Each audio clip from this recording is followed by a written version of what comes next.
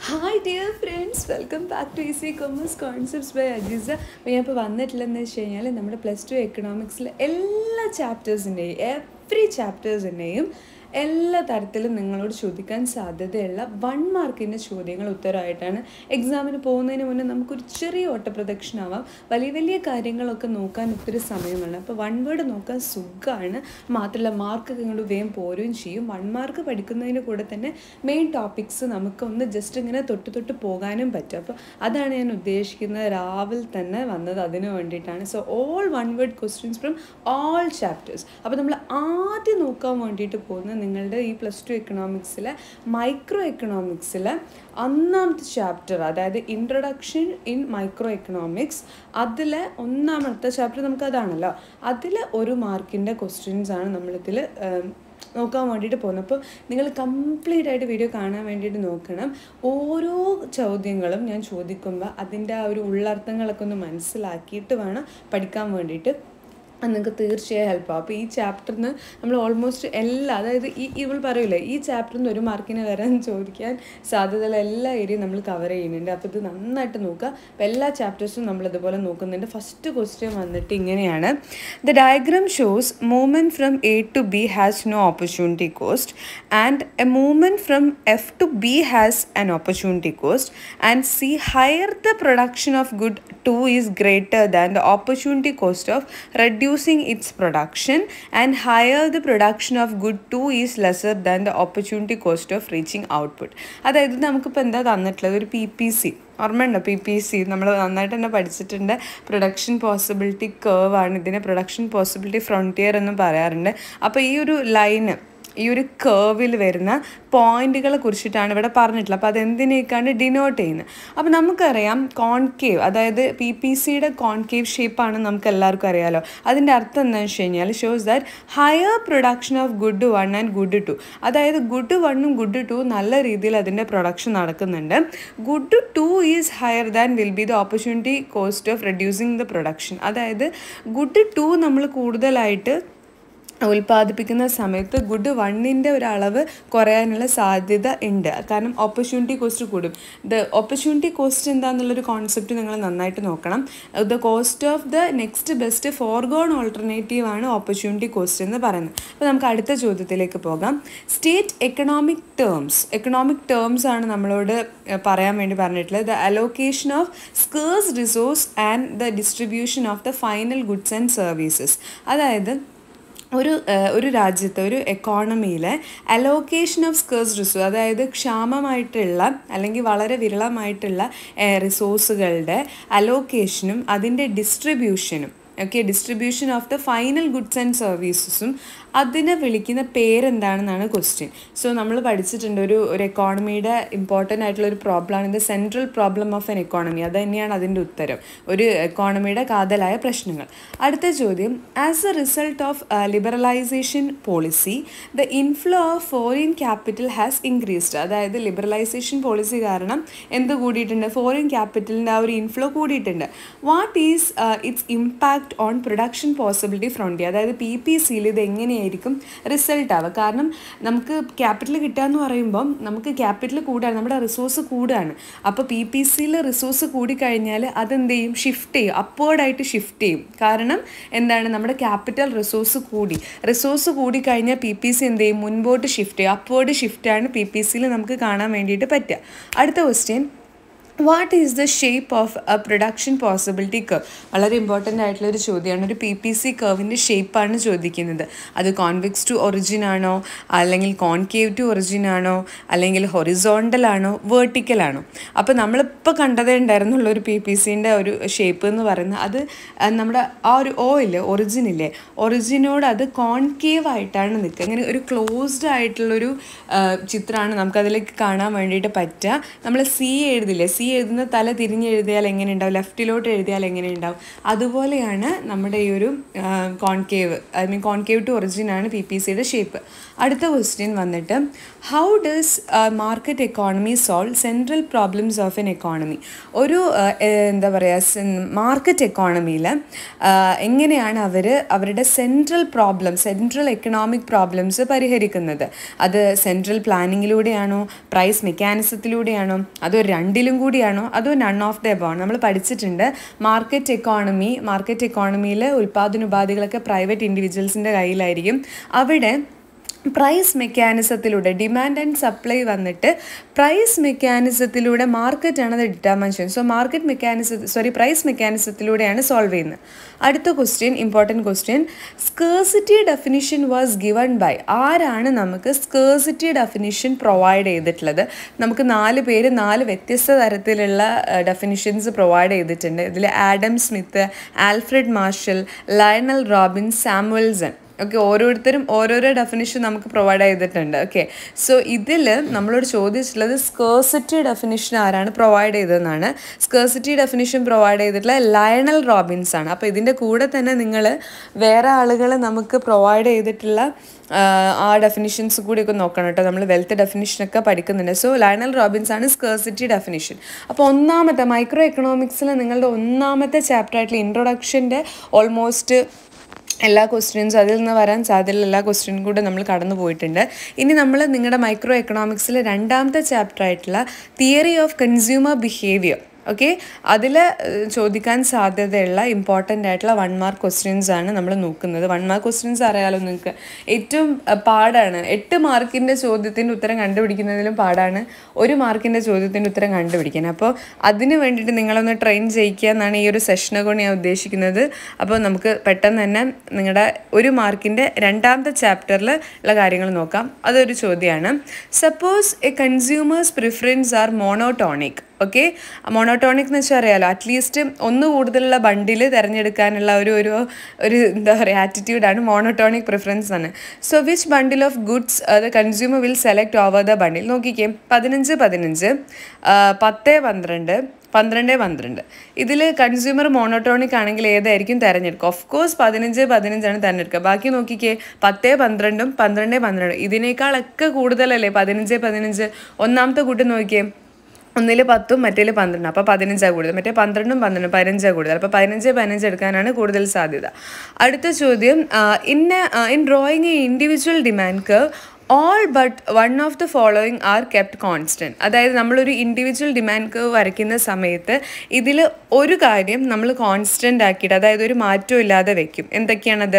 Price of the commodity price of other commodities income of the consumer taste and preference of the consumer അപ്പോൾ ഇതിൽ നമ്മൾ individual demand curve വരയ്ക്കുന്ന സമയത്ത് കമ്മോഡിറ്റീസിന്റെ price constant ആക്കിയിട്ട് അതായത് അതിന് അത് ചേഞ്ച് ആവുന്നുണ്ടെന്ന് നമ്മൾ എന്ത് ചെയ്യുന്നില്ല? സമ്മതിക്കുന്നില്ല. ഒരു അസംഷന്റെ ബേസിലാണ് പോകുന്നത്. പ്രൈസ് ഓഫ് കമ്മോഡിറ്റീസ് എന്താണ്? നമ്മൾ കോൺസ്റ്റന്റ് ആയിട്ടാണ് അവിടെ വയ്ക്കുക അടുത്ത question find out economic terms ഓരോ കാര്യങ്ങൾ പറയും. അതിൽ ഏറ്റവും യോജിച്ചിട്ടുള്ള എക്കണോമിക് ടേം ഏതാണെന്നാണ് നിങ്ങൾ പറയേണ്ടത്. Bundles are on or below the budget line budget ലൈനിലോ അല്ലെങ്കിൽ ബജറ്റ് ലൈനിന്റെ താഴെയോ വരുന്ന ബണ്ടിൽസിന് എന്താണ് വിളിക്കുക? അത് ബജറ്റ് സെറ്റാണ് ഒരാളുടെ കയ്യിലെ വരുമാനത്തിനനുസരിച്ച് അദ്ദേഹത്തിന് വാങ്ങാൻ പറ്റുന്നതാണത്. Budget set consumer prefer the bundle which has more of good compared to other അതായത് നമ്മൾ തൊട്ട് മുമ്പേ പതിനഞ്ച് പതിനഞ്ച് നോക്കി. അതിനെ വിളിക്കുന്ന പേരാണ് മോണോട്ടോണിക് പ്രിഫറൻസ് അറ്റ്ലീസ്റ്റ് ഒന്നെങ്കിലും മറ്റേ ബണ്ടിലിനെക്കാട്ടി കൂടുതലിരിക്കുന്ന നോക്കുന്നത്. പിന്നെ ഇൻഡിഫറൻസ് കർവിന്റെ കൂട്ടത്തെ വിളിക്കുന്നത് ഇൻഡിഫറൻസ് മാപ്പ് എന്നാണ്. അപ്പോൾ ഇങ്ങനത്തെ ടേംസ് ഒക്കെ ഒന്ന് നോക്കാം.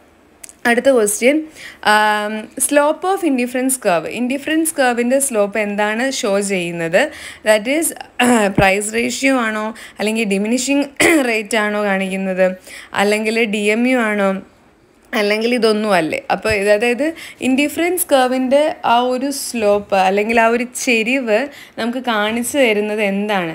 ഡിമിനിഷിങ് മാർജിനൽ റേറ്റ് ഓഫ് സബ്സ്റ്റിറ്റ്യൂഷനാണ് അവിടെ നമുക്ക് കാണാൻ വേണ്ടിയിട്ട് പറ്റുന്നത്. അതായത് എത്ര ലൈക്ക് ആ ഒരു പെർട്ടിക്കുലർ ആ കേവിലുള്ള ഏതെടുത്ത് കഴിഞ്ഞാലും ആ ആൾക്ക് ഈക്വൽ ലെവൽ ഓഫ് സാറ്റിസ്ഫാക്ഷൻ അപ്പോൾ ഡി എം ആർ എസ് ആണ് നിങ്ങൾ അവിടെ സ്ലോപ്പായിട്ട് എഴുതേണ്ടത്.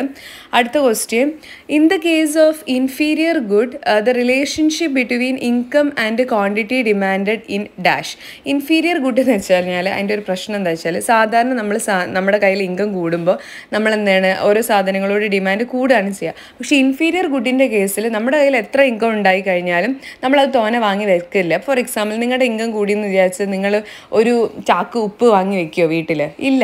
കാരണം എന്താ വെച്ചാൽ നമ്മൾ അങ്ങനെ വാങ്ങത്തില്ല. അതായത് ഇൻഫീരിയർ ഗുഡിന്റെ കേസിൽ ലൈക്ക് ബജ്ര ചോളം അങ്ങനത്തെ കേസിൽ ഇൻകം കൂടിയാലും ആ കമ്മോഡിറ്റിയുടെ ഡിമാൻഡ് കൂടില്ല. അത് നെഗറ്റീവാണ് ഇൻവേഴ്സ് റിലേഷൻഷിപ്പാണ് നെഗറ്റീവാണ് ഇൻകോൺ ഡിമാൻഡും ഇൻഫീരിയർ ഗുഡിന്റെത് അടുത്ത question elasticity in a rectangular hyperbola is dash നമുക്ക് അഞ്ച് തരത്തിലുള്ള ഇലാസ്റ്റിസിറ്റി പഠിക്കാറുണ്ട്. Perfect elastic perfect elastic perfect inelastic relatively elastic relatively inelastic and unitary elastic ഇതിൽ വൺ എന്ന് നമുക്ക് ഇലാസ്റ്റിസിറ്റി കിട്ടണമെങ്കിൽ അതിന്റെ അർത്ഥം അത് യൂണിറ്ററി ഇലാസ്റ്റിക് ആണ്. യൂണിറ്ററി ഇലാസ്റ്റിക് അപ്പോൾ യൂണിറ്ററി ഇലാസ്റ്റിക്കിന്റെ കേർവിന്റെ ഷേപ്പിന്റെ പേരാണ് ഈ റെക്റ്റാങ്കുലർ ഹൈപ്പർബോള എന്ന് പറയുന്നത്. റെക്റ്റാങ്കുലസ് ഹൈപ്പർബോള അപ്പോൾ റെക്റ്റാങ്കുലസ് ഹൈപ്പർബോള എന്ന് പറയുന്നത് എന്താണ്? അതിന്റെ ഇലാസ്റ്റിസിറ്റി വൺ ആണ്. അത് യൂണിറ്ററി ഇലാസ്റ്റിക് ആണ്. വൺ ആണ്.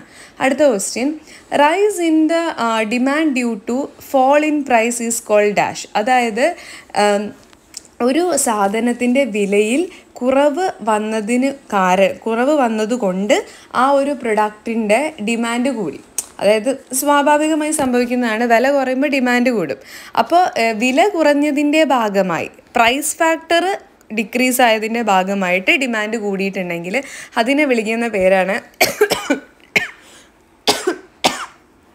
സോറി അതിനെ വിളിക്കുന്ന പേരാണ് expansion of demand price factor കൊണ്ട് ഡിമാൻഡ് കൂടിയിട്ടുണ്ടെങ്കിൽ അത് എക്സ്പാൻഷൻ ഓഫ് ഡിമാൻഡാണ് അടുത്ത question if the demand falls from hundred to seventy five demand എന്താണ്? ആദ്യം നൂറുണ്ടായിരുന്നു അത് സെവന്റി ഫൈവ് ആയിട്ട് കുറഞ്ഞിട്ടുണ്ട്.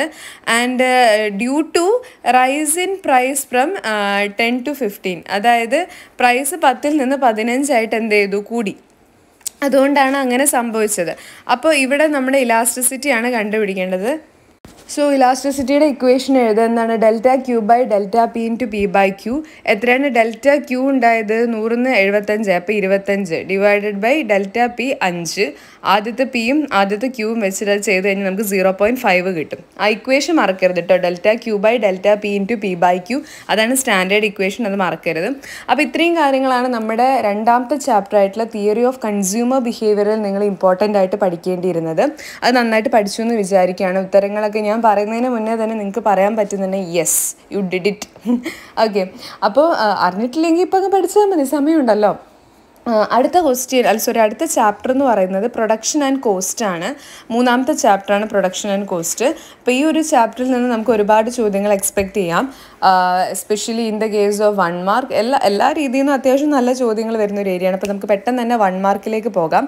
ഒന്നാമത്തെ ക്വസ്റ്റ്യൻ ഇത് കഴിഞ്ഞ പ്രാവശ്യം ചോദിച്ചിട്ടുണ്ടായിരുന്നു. Which among the following cost curve is not U shaped അതായത് യു ഷേപ്ഡ് അല്ലാത്തത് ഏതാണെന്നാണ് നമ്മുടെ ക്വസ്റ്റ്യൻ അപ്പോൾ നമ്മൾ പഠിച്ചിട്ടുണ്ട്. ആവറേജ് ഫിക്സഡ് കോസ്റ്റിന്റെ കർവ് എന്ന് പറയുന്നത് അതിന്റെ ഷേപ്പ് യു ഷേപ്പ് അല്ല. അത് റെക്റ്റാങ്കുലർ ഹൈപ്പർബോളയാണ് അത് കഴിഞ്ഞ മോഡലിന് അതിന് ഒരു പറ്റിയൊരു ചോദ്യം ഉണ്ടായിരുന്നു. പിന്നെ മോഡൽ ക്വസ്റ്റ്യൻ പേപ്പർ നിങ്ങൾ നന്നായി പഠിച്ചിട്ടുണ്ടാവണം. കാരണം റിപ്പീറ്റ് അടിക്കുന്നുണ്ട് ക്വസ്റ്റ്യൻസ് ബിസിനസ് പ്ലസ് വണ്ണിന്റെയും പ്ലസ് ടുവിന്റെയും റിപ്പീറ്റ് അടിച്ചിട്ടുണ്ട്. അപ്പോൾ മോഡൽ ക്വസ്റ്റ്യൻ പേപ്പർ കൂടെ നന്നായിട്ടൊന്ന് പോകണം ഞാൻ തന്നെ നമ്മുടെ ഇതിൽ ഇട്ടിട്ടുണ്ട്. A F C curve is rectangular hyperbola അതാണ് നിങ്ങൾ ഉത്തരമായിട്ട് എഴുതേണ്ടത്.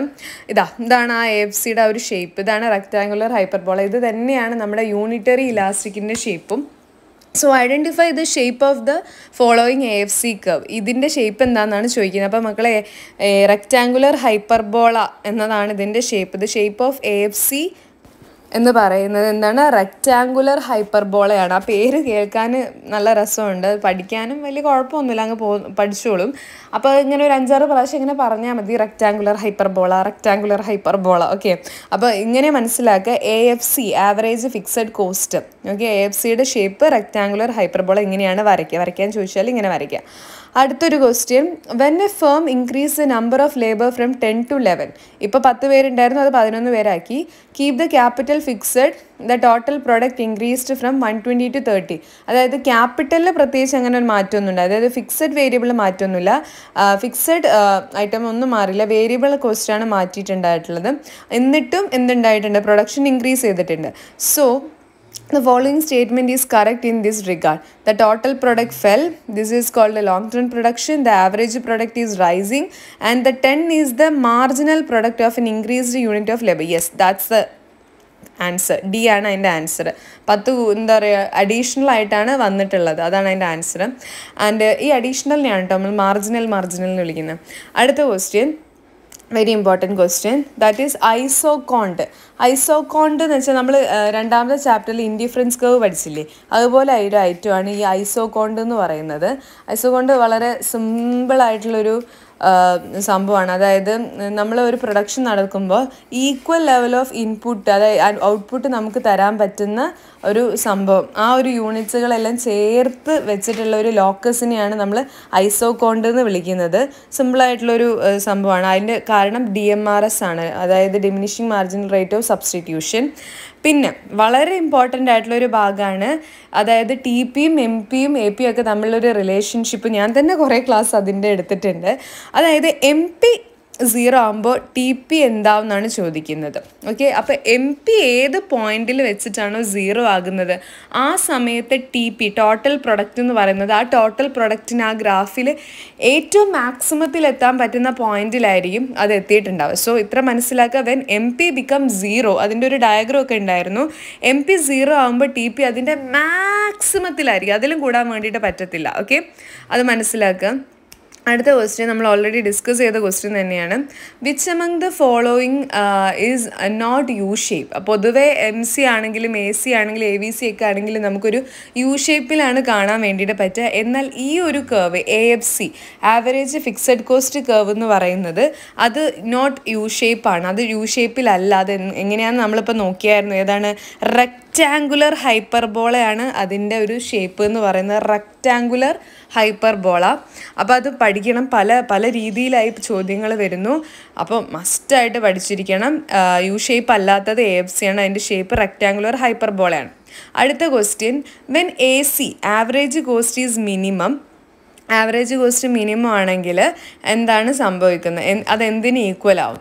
ആവറേജ് കോസ്റ്റ് മിനിമം എന്ന് പറയുമ്പോൾ മിനിമം ആവറേജ് കോസ്റ്റ് എന്ന് പറയുമ്പോൾ M C greater than A C അതായത് മാർജിനൽ കോസ്റ്റ് വലുതായിട്ട് നിൽക്കും. അല്ലെങ്കിൽ എം സി എ സിക്ക് ഈക്വൽ ആയിരിക്കും. അല്ലെങ്കിൽ marginal cost less than A C ആയിരിക്കും നൺ ഓഫ് ദിസ് ആയിരിക്കും. അപ്പോൾ മനസ്സിലാക്കുക മിനിമം എ സി എന്ന് പറയുന്നത് എന്ന് പറയുമ്പോൾ മാർജിനൽ കോസ്റ്റും എ സി അവിടെ ഈക്വൽ ആണ്. ഓക്കെ അങ്ങനെ മനസ്സിലാക്കുക. മിനിമം എ സി എന്ന് പറയുമ്പോൾ അത് എന്താണ് എം സിയിൽ കൂടുമില്ല എം സി കുറയുമില്ല. എം സിയും എ സിയും ഈക്വൽ ആവുന്ന പോയിന്റാണ് എന്ത്? എ സി ഈസ് മിനിമം എന്ന് പറയുന്നത്. അടുത്ത ക്വസ്റ്റ്യൻ ഇതന്നെയല്ലേ വീണ്ടും വീണ്ടും ചോദിക്കുന്ന? All the following curves are U shaped except അതായത് ഈ പറയുന്ന എല്ലാം യു ഷേപ്പാണ് പക്ഷെ ഒരാൾ മാത്രമല്ല. അത് A V C curve the A F C curve the A C curve the M C curve ഏതാണ് മക്കളെ? നമ്മൾ ഇപ്പോൾ പറഞ്ഞതേ ഉള്ളൂ. യു ഷേപ്പ് അല്ലാത്തത്. ഏതാണ് എ എഫ് സി കർവ് ബാക്കി എല്ലാം യു ഷേപ്പാണ് എ വി സി ആയാലും. അതും നിങ്ങൾക്ക് നല്ലൊരു ഇൻഫർമേഷൻ ആയിരിക്കും. എ വി സിയുടെ ഷേപ്പ് യു ഷേപ്പാണ് എ സിയുടെ ഷേപ്പ് യു ഷേപ്പാണ് എം സിയുടെ ഷേപ്പും യു ഷേപ്പാണ് ഇതിൽ കൂട്ടത്തിൽ പെടാത്തത് ഏതാണെന്ന് ചോദിച്ചു കഴിഞ്ഞാൽ നിങ്ങൾക്ക് പറയാം. That is A F C ആണ്. അതിന്റെ ഷേപ്പ് റെക്ടാങ്കുലർ ഹൈപ്പർബോളയാണ് അപ്പോൾ ഇത്രയും ക്വസ്റ്റ്യൻസ് ആണ് നമ്മുടെ പ്രൊഡക്ഷൻ കോസ്റ്റിൽ നിന്ന് നമുക്ക് വൺ മാർക്കിന് എക്സ്പെക്ട് ചെയ്യാൻ വേണ്ടിയിട്ട് പറ്റുന്നത്. അപ്പോൾ അതൊക്കെ നിങ്ങൾ നല്ല രീതിയിൽ തന്നെ പഠിച്ചിട്ടുണ്ടെന്ന് ഞാൻ വിശ്വസിക്കുന്നു. ഇനി നമ്മൾ നോക്കാൻ പോകുന്നത് നമ്മുടെ നാലാമത്തെ ചാപ്റ്ററാണ്. That is the theory of the firm under perfect competition ഈ ഒരു ചാപ്റ്ററിൽ നിന്നും നമുക്ക് ചോദിക്കാൻ സാധ്യതയുള്ള ഇമ്പോർട്ടന്റ് ആയിട്ടുള്ള വൺ മാർക്ക് ക്വസ്റ്റ്യൻസ് ഏതൊക്കെയാണെന്നാണ് നമ്മൾ ഇതിൽ നോക്കുന്നത്. അപ്പോൾ നിങ്ങൾക്ക് അറിയാം പെർഫെക്റ്റ് കോമ്പറ്റീഷനും അതിലുള്ള പ്രോഫിറ്റ് മാക്സിമൈസേഷനും ലോങ് റണ്ണും ഷോർട്ട് റണ്ണും അതുപോലെ തന്നെ നോർമൽ പ്രോഫിറ്റും സൂപ്പർ നോർമൽ പ്രോഫിറ്റും എക്സ്പ്ലിസിറ്റ് കോസ്റ്റും ഇംപ്ലിസിറ്റ് കോസ്റ്റും ഷട്ട് ഡൗണും ബ്രേക്ക് ഈവനും സപ്ലൈ ഒക്കെ നമ്മൾ പഠിക്കുന്നുണ്ട്. സോ ഒന്നാമത്തെ question T R curve total revenue curve under perfect competitive passes through the origin do you agree yes അതായത് ഒരു പെർഫെക്റ്റ് കോമ്പറ്റീഷനിൽ എന്താണ് ടി ആർ അതായത് ടോട്ടൽ റവന്യൂ എന്ന് പറയുന്നത് ഒറിജിനലിലൂടെ ഒറിജിനലിലൂടെ എന്ത് ചെയ്യുന്നുണ്ട്? പാസ് ചെയ്യുന്നുണ്ട്. നമ്മളത് പഠിച്ചിട്ടുള്ള കാര്യമാണ്. അതിന്റെ ഒരു ആ ഒരു ഏഹ്, ചിത്രം നമ്മൾ പഠിച്ചിട്ടുണ്ട്. അതായത് എക്സ് ആക്സിസും വൈ ആക്സിസും ഉണ്ട്. അതിനൊരു കറക്റ്റ് അതിനെ നടുക്കുന്ന ആ ഒറിജിനിൽ നിന്ന് എന്ത് പോകുന്നുണ്ട്? ആ ഒരു ടി ആർ കർവ് പോകുന്നുണ്ട്. അപ്പോൾ നിങ്ങൾ പറയണം yes I agree T R curve under perfect competition ഒറിജിനിലൂടെ pass ചെയ്യുന്നുണ്ട്. അടുത്ത question homogeneous products free entry and exit price maker ഇതൊക്കെ ഏതാണ്? ഫൈൻ ഓഡ് വൺ ആണ്. ഹോമോജീനിയസ് പ്രൊഡക്റ്റ് ആണെങ്കിലും ഫ്രീ എൻട്രി എക്സിറ്റ് ആണെങ്കിലും അതൊക്കെ എന്തിന്റെയാണ് പെർഫെക്റ്റ് കോമ്പറ്റീറ്റീവിനെയാണ് പ്രൈസ് മേക്കർ എന്ന് പറയുന്നത് അതിലുള്ളതല്ല. അത് മോണോപ്പൊളിയുടെ ഫീച്ചർ അപ്പോൾ ഒന്നാമത്തേതിന്റെ ഓഡ് വൺ എന്ന് പറയുന്നത് പ്രൈസ് മേക്കറാണ് പിന്നെ homogeneous product freedom of entry and exit large number of buyers and seller product differentiation ഇതിൽ പ്രൊഡക്റ്റ് ഡിഫറൻസിയേഷനാണ് നമ്മൾ എന്ത് ചെയ്യുന്നത്? ആ മോണോപ്പൊളിസ്റ്റ് കോമ്പറ്റീഷനെയാണ് എടുത്ത് മാറ്റുക പിന്നെ എം സി സികളുടെ M R M R സികളുടെ F C M C cut ചെയ്യാം പി സി ഒക്കെ. അതിൽ അപ്പോൾ ഒന്നാമത്തേന്റെ answer price മേക്കറാണ് others are the features of perfect competition നമ്മൾ ഓൾറെഡി പറഞ്ഞു. രണ്ടാമത്തത് പ്രൊഡക്റ്റ് ഡിഫറൻസിയേഷൻ ആണ്. ബാക്കിയൊക്കെ എന്തായിരുന്നു? പെർഫെക്റ്റ് കോമ്പറ്റീഷന്റെ ഫീച്ചേഴ്സാണ് പിന്നെ മൂന്നാമത്തതിൽ M R and F C ബാക്കിയൊക്കെ പെർഫെക്റ്റ് കോമ്പറ്റ് കോമ്പറ്റീഷനിലുള്ള ഒരു ഫേമിന്റെ ഇക്വിലിബ്രിയം അല്ലെങ്കിൽ പ്രോഫിറ്റ് മാക്സിമൈസേഷൻ കണ്ടീഷനാണ് എന്നാൽ M R S equal to A F C എന്ന് പറയുന്നത് അതിന്റെ കണ്ടീഷൻ അല്ല. അതിന്റെ കൂട്ടത്തിൽ തന്നെ പറഞ്ഞോടെ മക്കൾ ആ മൂന്ന് കണ്ടീഷൻ മസ്റ്റ് മസ്റ്റായിട്ട് പഠിച്ചിരിക്കണം നിങ്ങൾ എം ആ ഒരു ആ ഒരു ഏരിയ ഉണ്ടല്ലോ നമ്മുടെ ആ ഒരു പ്രോഫിറ്റ് മാക്സിമൈസേഷൻ മൂന്ന് condition M C non decreasing എന്നൊക്കെ പറഞ്ഞിട്ട് എന്തായാലും പഠിക്കണം മസ്റ്റാണ് അടുത്ത question pick out the odd one and justify it free entry profit maximisation perfect knowledge price discrimination ഇതൊക്കെ എന്താണ്? ഇതൊക്കെ ഇതിലൊക്കെ ഏതോ ഒന്ന് വിട്ട് നിൽക്കുന്നുണ്ട്. ഏതാണത്? ഫ്രീ എൻട്രി ഏതാ? നമ്മുടെ പെർഫെക്റ്റ് കോമ്പറ്റീഷൻ പ്രോഫിറ്റ് മാക്സിമൈസേഷൻ വരുന്നുണ്ട്. Perfect knowledge perfect competition price discrimination അത് അതിൽ വരുന്നതല്ല റൈറ്റ് അപ്പോൾ എന്താണ് പ്രൈസ് ഡിസ്ക്രിമിനേഷൻ ആണ് ഒറ്റപ്പെട്ടത്. ബാക്കിയുള്ളതെല്ലാം എന്താണ്? പെർഫെക്റ്റ് കോമ്പറ്റീഷന്റെ ഭാഗമായിട്ട് നമ്മൾ പറയുന്നതാണ്. സോ ഇങ്ങനെയുള്ള ക്വസ്റ്റ്യൻസ് നിങ്ങൾക്ക് പ്രതീക്ഷിക്കാം. അടുത്ത ചോദ്യം. Which of the following represent normal profit normal പ്രോഫിറ്റിനെ represent ചെയ്യുന്ന എന്നാൽ normal profit is the minimum level of profit which helps the firm to remain in the business ബിസിനസ്സിൽ ഒന്ന് പിടിച്ചു നിൽക്കാനെങ്കിലും നമ്മളെ ഹെൽപ്പ് ചെയ്യുന്ന ഒരു ലാഭമാണ് നോർമൽ പ്രോഫിറ്റ് അപ്പോൾ അവിടെ ആവറേജ് റവന്യൂ എന്താണ്? ആവറേജ് കോസ്റ്റിന് ഈക്വൽ ആയി നിൽക്കുമ്പോഴാണ് നമ്മൾ എന്ത് ചെയ്യുക? നോർമൽ പ്രോഫിറ്റ് കിട്ടുന്നത്. അതായത് നമുക്ക് ഉണ്ടാവുന്ന കോസ്റ്റ് ഉണ്ടല്ലോ ആവറേജ് കോസ്റ്റ് അത് തന്നെ ആക്ച്വലി നമുക്കൊരു ആവറേജ് റവന്യൂ ആയിട്ടും കൂടി വരുമ്പോൾ നമുക്ക് വലിയ കുഴപ്പമില്ലാതെ ഒരു നോർമൽ പ്രോഫിറ്റ് ആയിട്ട് അങ്ങനെ മുന്നോട്ട് പോകാൻ വേണ്ടിയിട്ട് പറ്റും. ഇതും കൂടി കിട്ടിയില്ലെങ്കിൽ ഫേമിന് എന്ത് ചെയ്യാൻ പറ്റില്ല? കണ്ടിന്യൂ ചെയ്യാൻ വേണ്ടിയിട്ട് പറ്റില്ല. So A R S cycle to A C ആണ് നോർമൽ പ്രോഫിറ്റിന്റെ ക്രൈറ്റീരിയ അടുത്ത question firm price taker under firm is price taker under dash. അതായത് പെർഫെക്റ്റ് കോമ്പറ്റീഷനിലാണോ അല്ലെങ്കിൽ മോണോപ്പൊളിയിലാണോ മോണോപ്പൊളിസ്റ്റിക് കോമ്പറ്റീഷനിലാണോ ഡുവോപ്പൊളിയിലാണോ ഫേം ഒരു പ്രൈസ് ടേക്കർ ആവുന്നത് പ്രൈസ് ടേക്കർ എന്ന് വെച്ചാൽ നമ്മുടെ മാർക്കറ്റിലെ ഡിമാൻഡ് ആൻഡ് സപ്ലൈയുടെ ഫലമായിട്ട് ഉണ്ടാവുന്ന പ്രൈസ് എന്താണോ അത് അക്സെപ്റ്റ് ചെയ്യുന്നതിനെയാണ് പ്രൈസ് ടേക്കർ എന്ന് പറയുന്നത്. അത് പെർഫെക്റ്റ് കോമ്പറ്റീഷനിലാണ് വരുന്നത്. പെർഫെക്റ്റ് കോമ്പറ്റീഷൻ എന്ന് പറയുന്ന ഒരു ഏരിയ ഉണ്ട് ഫസ്റ്റ് നമ്മൾ പഠിക്കുന്ന ഒരു മാർക്കറ്റ് സിറ്റുവേഷനാണ് അതിലാണ് സെല്ലേഴ്സ് പ്രൈസ് ടേക്കർ ആവുന്നത് മോണോപ്പൊളിയിൽ പ്രൈസ് മേക്കറാണ് ഓക്കെ റെഡി അടുത്ത question shut down point occurs at dash shut down point എപ്പോഴാണ് എന്താ പറയുക ഒക്കർ ആവുന്നത്? ഷട്ട് ഡൗൺ പോയിന്റ് എന്ന് പറഞ്ഞാൽ എന്താ അടച്ചു പൂട്ട് ഇതും കൂടി കിട്ടിയിട്ടില്ലെങ്കിൽ നമ്മൾ എന്ത് ചെയ്യും പൂട്ടും കമ്പനി പൂട്ടും. അതായത് when the firm produces positive level of output the minimum output of the firm should process in order to remain the business is non shut down point it is a minimum point of production for the firm remains in the business അതായത് minimum point of average variable cost അതെങ്കിലും നമുക്ക് കിട്ടണം. ആ ഒരു പോയിന്റാണ് എന്ത്? Shut down point എന്ന് പറയുന്നത്. അതിലും താഴോട്ട് പോവുകയാണെങ്കിൽ അടച്ചു പൂട്ടി അങ്ങ് പോകും. അത്ര തന്നെ. അടുത്ത question a firm ables to sell any quantity of output at a given price അതായത് ഒരു ഫേം അവർ എന്ത് ചെയ്യാണ്? എത്ര ക്വാണ്ടിറ്റി ഓഫ് ഗുഡ് വേണമെങ്കിലും വിൽക്കാൻ റെഡിയാണ് ഒരു ഗിവൺ പ്രൈസിൽ and the firm's marginal revenue will be ആ സമയത്ത് ആ ഒരു ഫേമിന്റെ മാർജിനൽ റവന്യൂ എം ആർ എന്ന് പറയുന്നത് എന്തായിരിക്കും? ഗ്രേറ്റർ ദാൻ എ ആർ ആണോ? ലെസ് ദാൻ എ ആർ ആണോ? ഈക്വൽ ടു എ ആർ ആണോ? സീറോ ആണോ. അതായത് ഒരു ഫേം അതിന് എത്ര ക്വാണ്ടിറ്റി വേണമെങ്കിലും ഒരു ഗിവൺ പ്രൈസിന് വിൽക്കാൻ തയ്യാറാണെങ്കിൽ അതിന്റെ ആവറേജ് റവന്യൂവിന് മാർജിനൽ റവന്യൂ ഈക്വൽ ആണ്. Equal to A R average revenue ആണ് റൈറ്റ് ആൻസർ അടുത്ത question the short run shutdown point of a firm in a perfectly competitive firm is dash ഒരു എന്താ പറയുക അത് short run down point short റണ്ണിലുള്ള shut down point ഒരു ഫേമിന്റെത് അതും perfectly competitive ഫേമിൽ എന്താണെന്നാണ് ചോദിക്കുന്നത്. അത് നമ്മൾ പഠിച്ചിട്ടുണ്ട് ആ ഒരു കണ്ടീഷൻ നമ്മൾ പഠിച്ചിട്ടുണ്ട്. ദാറ്റ് ഈസ് പ്രൈസ് പ്രൈസ് എന്താണ്? എ വി സിക്ക് അതായത് ആവറേജ് വേരിയബിൾ കോസ്റ്റിന് ഈക്വൽ ആവുന്ന ഒരു സിറ്റുവേഷനിലാണ് നമ്മൾ എന്താ പറയുക short run short run shut down point എന്ന് പറയാം. സോ അത് P is equal to A V C ആണ് അതിന്റെ റൈറ്റ് ആൻസർ വന്നിട്ട്. അടുത്ത question if P exceeds A V C അതായത് പ്രൈസ് എ വി സിനേക്കാളും കൂടുകയെന്ന് വിചാരിക്കുക. ബട്ട് ഈ smaller than A C average ക്വസ്റ്റിനെക്കാളും കുറവാണ് the best level of output the firm in perfect competitive എന്തായിരിക്കും അവസ്ഥ? അത് മേക്കിംഗ് പ്രോഫിറ്റ് ആണോ minimising losses in the short run ആണോ അല്ലെങ്കിൽ incurring loss and should stop pro producing ആണോ break even ആണോ? A V സിനെക്കാട്ടും പ്രൈസ് കൂടാന്ന് പറയുമ്പോൾ നമുക്കത് പോസിറ്റീവ് ആണ്. കാരണം ആവറേജ് വേരിയബിൾ കോസ്റ്റിനെക്കാട്ടും പ്രൈസ് കൂടാന്ന് പറയുമ്പോൾ അത് ഓക്കെ ആയിട്ടുള്ള ഒരു കണ്ടീഷനാണ് അത് നമ്മുടെ ഷോർട്ട് റണ്ണിലെ ലോസിനെ ഒത്തിരി മിനിമൈസ് ചെയ്യും. ഓപ്ഷൻ ബി ആണ് റൈറ്റ് ആൻസർ ആയിട്ട് വരിക. അപ്പോൾ ഇത്രയും ക്വസ്റ്റ്യൻസ് ആണ് നമുക്ക് ആ ഒരു ഏരിയയിൽ നിന്ന് നമുക്ക് എന്താ പറയുക ചോദിക്കാൻ സാധ്യത. അതായത് തിയറി ഓഫ് എന്താണ് പെർഫെക്റ്റ് കോമ്പറ്റേറ്റീവ് മാർക്കറ്റിലുള്ള കാര്യങ്ങളൊക്കെ നമുക്ക് അതിൽ നോക്കാം. ഇനി അടുത്ത ക്വസ്റ്റ്യൻ അല്ലെങ്കിൽ അടുത്തൊരു ഏരിയ എന്ന് പറയുന്നത് നമ്മുടെ മൈക്രോ എക്കണോമിക്സിലെ അവസാന ഭാഗമാണ്.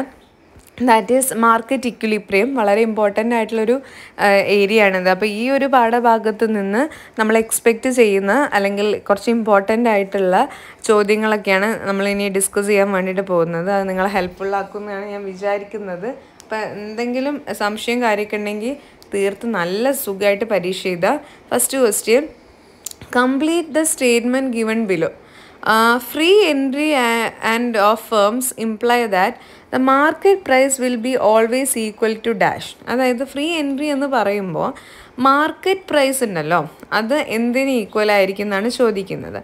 അത് പ്രൈസ് എന്ന് പറയുന്നത് minimum average cost minimum A സിക്ക് ഈക്വൽ ആയിരിക്കും. ലാർജ് ലാർജ് നമ്മൾ ആവറേജ് വേരിയബിൾ കോസ്റ്റ് വരുന്നല്ലോ? ഷോർട്ട് റണ്ണിൽ പറഞ്ഞത്. ലോങ് റണ്ണിലേക്ക് വരുമ്പോൾ അത് പ്രൈസ് എന്ന് പറയുന്ന ആവറേജ് കോസ്റ്റിന്റെ എന്താണ്? മിനിമം മിനിമം ആവറേജ് കോസ്റ്റിന്റെ മിനിമത്തിന് ഈക്വൽ ആയിട്ടായിരിക്കും പ്രൈസ് ഉണ്ടാവുക അടുത്ത question choose the correct answer the imposition of price ceiling below the equilibrium price leads to dash അത് നമ്മൾ ഇന്നലത്തെ ക്ലാസ്സിൽ നമ്മൾ ഡിസ്കസ് ചെയ്തിട്ടുണ്ടായിരുന്നു. അതായത് നമുക്ക് രണ്ട് കാര്യം പ്രൈസ് സീലിംഗും ഉണ്ട് പ്രൈസ് ഫ്ലോറും ഉണ്ട്. അപ്പോൾ പ്രൈസ് സീലിംഗ് ആക്ച്വലി നമ്മൾ സെറ്റ് ചെയ്യുമ്പോൾ അത് ഇക്വിലിബ്രിയം പ്രൈസിനേക്കാളും താഴ്ത്തിയിട്ടാണ് സെറ്റ് ചെയ്യുക. അപ്പോൾ നമുക്ക് ഡിമാൻഡ് കൂടും. അതായത് ഡിമാൻഡ് കർവിലേക്ക് ആ ഇക്വിലിബ്രിയം പ്രൈസിന് താഴ്ത്തി നമ്മളൊരു ലൈൻ വരച്ചാൽ നമുക്ക് അതിന് താഴ്ത്തിയെ കാണാൻ പറ്റും. ആദ്യത്തെ ഡിമാൻഡിനേക്കാൾ അതായത് ഇക്വിലിബ്രിയം ഡിമാൻഡിനേക്കാളും എന്ത് കൂടിയിട്ടുണ്ടാവും? ഒരു ഡിമാൻഡിൽ ഒരു ഇൻക്രീസ് ഉണ്ടാവും. സോ എക്സസ് ഡിമാൻഡാണ് പ്രൈസ് സീലിങ്ങിനെ കൊണ്ട് ഉണ്ടാകുന്നത് അതേപോലെ പ്രൈസ് ഫ്ലോറിനെ കൊണ്ട് എക്സസ് സപ്ലൈ ആണ് ഉണ്ടാവുക.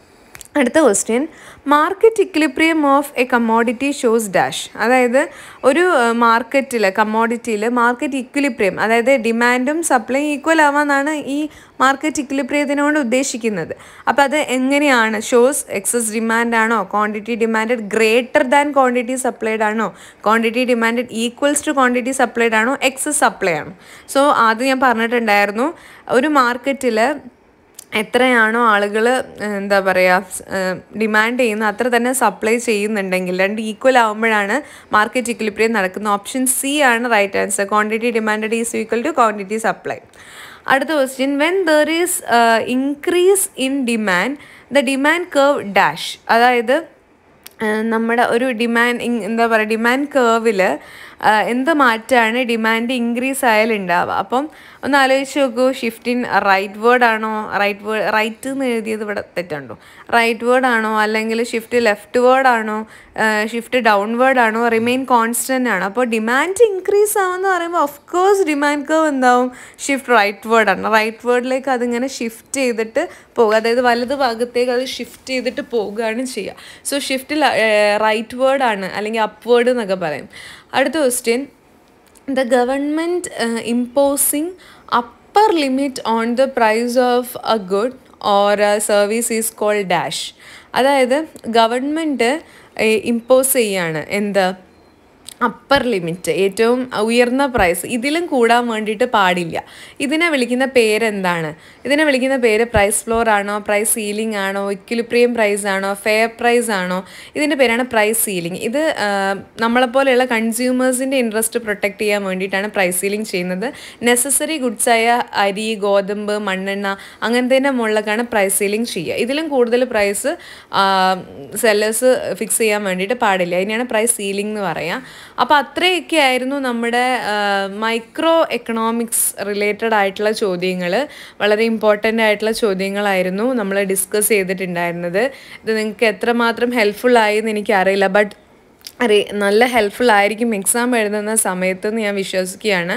ഇനി നമുക്ക് നമ്മുടെ മാക്രോ എക്കണോമിക്സിന്റെ പ്രോബ്ലം ക്വസ്റ്റ്യൻ ആൻസേഴ്സ് ആണ് നമുക്ക് ചെയ്യാനുള്ളത് വൺ മാർക്കിന്റെത് അപ്പോൾ അത് നമുക്ക് നെക്സ്റ്റ് ഒരു വീഡിയോ ആയിട്ട് ചെയ്യാവുന്നതാണ്. അപ്പോൾ അതായിരിക്കും നിങ്ങൾക്കും കാണാൻ കുറച്ചുകൂടെ എളുപ്പമുള്ളത്. So let stop here so ഈ ഒരു വീഡിയോ നിങ്ങൾക്ക് തീർച്ചയായും ഹെൽപ്ഫുൾ ആവുമെന്ന് ഞാൻ പ്രതീക്ഷിക്കുകയാണ്. അപ്പോൾ അങ്ങനെ നിങ്ങൾക്ക് ഫീൽ ചെയ്യുന്നുണ്ടെങ്കിൽ തീർച്ചയായും നമ്മുടെ വീഡിയോ ലൈക്ക് ചെയ്ത് സപ്പോർട്ട് ചെയ്യുക. ചാനൽ ആദ്യമായിട്ട് കാണുന്നവരാണെങ്കിൽ സബ്സ്ക്രൈബ് ചെയ്ത് സപ്പോർട്ട് ചെയ്യുക. വീഡിയോനെ കുറിച്ചുള്ള അഭിപ്രായങ്ങൾ നിങ്ങൾ കമന്റായിട്ട് രേഖപ്പെടുത്താം നന്നായിട്ട് പഠിക്കുക. ഇനി നമുക്ക് മുമ്പിൽ വളരെ കുറച്ച് സമയമുള്ളൂ. ബട്ട് മേക്ക് ഇറ്റ് യൂസ്ഫുൾ നല്ല രീതിയിൽ ടൈം മാനേജ് ചെയ്യുക. നല്ല രീതിയിൽ പഠിച്ചതെല്ലാം ഓർത്ത് നല്ല എഫീഷ്യന്റ് ആയിട്ട് സ്മാർട്ടായിട്ട് കൂളായിട്ട് തന്നെ ആൻസറിങ് ചെയ്യാൻ എല്ലാവർക്കും പറ്റട്ടെ. Thank so much for watching the video